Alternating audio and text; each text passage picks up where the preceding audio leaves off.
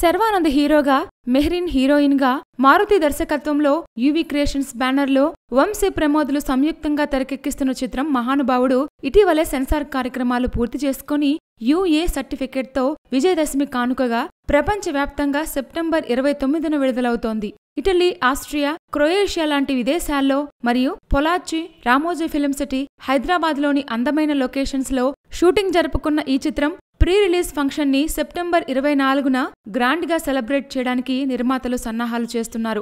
SS Thaman అందించిన audio chat బస్టర్లో number వన్గా ఉండడం విశేషం.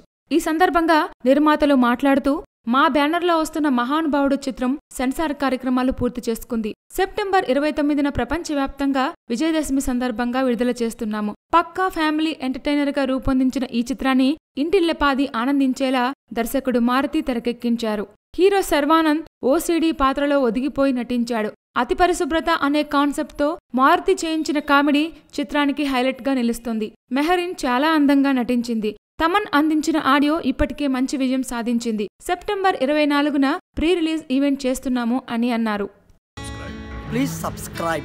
Hi, it's me Purna. Please subscribe.